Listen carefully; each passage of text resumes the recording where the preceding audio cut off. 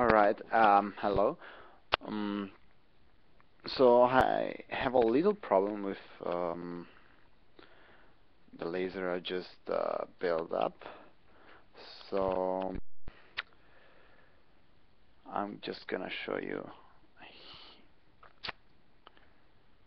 The laser is installed inside here in a model and fit into a head uh, heatsink and the diode is 9 millimeter is inside here. It's a 445 nanometers one. Um I don't think I can oh there we are. Okay so it looks normal no problems at all.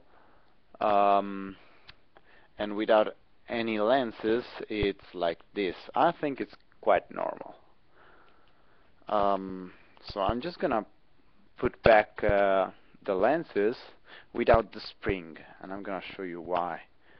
Uh, so here are the lenses and they just look normal too. They are the G2 lenses. Um, so I'm gonna screw those in. Like halfway and okay so the bar is still there. I'm gonna keep screwing in. And there we go. We have a spot. Now what happens is that I can still touch the the um, the screw that holds the lenses and it will change the shape like uh, uh, let's see if I can somehow show you mean it will change from a bar to a spot only by touching it without even screwing. Um, let me turn off the light. Maybe you can see better. So here's the uh, man. Anyway you gotta trust me it really changes.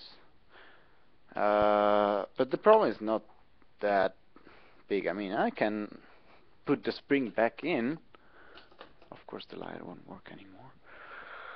Um, give me a sec. So I unscrewed the lenses again. Now I put the spring back in. As you may see the spring is wider in one side. I'm not sure if that's right. I guess it is to just hold it in. So I just put it carefully in. And now that it's in I'm just gonna screw the lenses back there.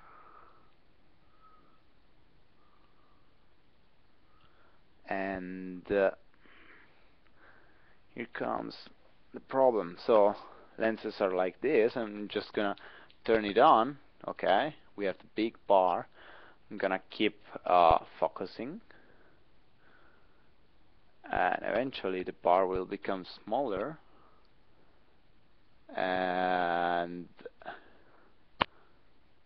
never disappear. Okay. So um, this is the result. It's screwed at the maximum. Es pizza! And this is what I get at the best. Okay. I don't think that's normal. Just let me know please. Thank you